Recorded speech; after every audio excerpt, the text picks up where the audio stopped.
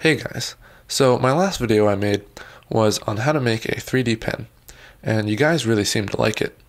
So I thought about some other cool, overpriced tools that I could show you how to make for cheap. So today we're going to be making a mini Dremel multi-tool. This will cost around $10 max, but all the parts are very common, so I was able to make this for free.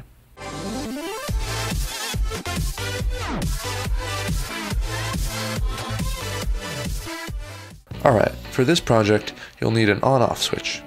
These can be salvaged off almost any old electronic. You also need a DC motor. The bigger the better. The best ones come from Big RC Toys. I got this one from a Big RC helicopter.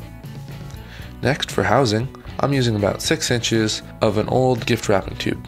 You can use PVC pipe if you want, but I'm trying to keep the cost down. Next, for batteries, you're going to need at least 4 AA's, maybe a 9 volt if you want.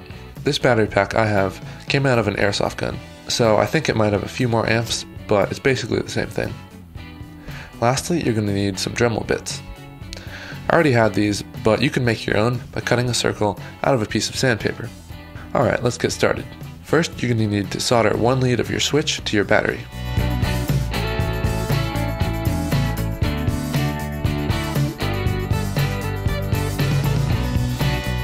Then solder the other lead to the motor. Remember to cover everything with electrical tape or heat shrink tubing.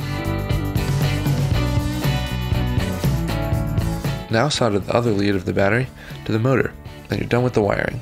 That's all there is to it. When we flip the switch, the motor should turn on.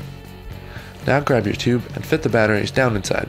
Then slip the motor in about halfway, and fold the switch down outside of the tube and tape it in place.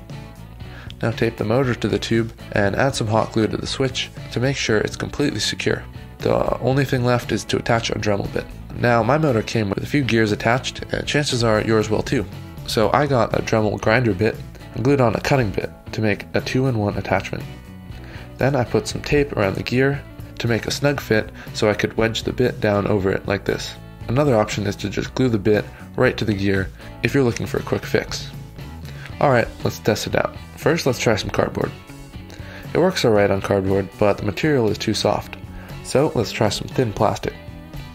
As you can see, it cuts right through it. It's not as powerful as a Dremel, but for a fraction of the price, it's not bad. It even cuts and grinds PVC. I was able to sand down the edge of this piece no problem. Well, if you liked this video, don't forget to give it a like and share it with your friends. Also subscribe to my channel for some more awesome videos.